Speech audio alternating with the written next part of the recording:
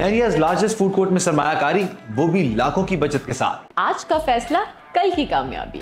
अब ख्वाब नहीं हकीकत।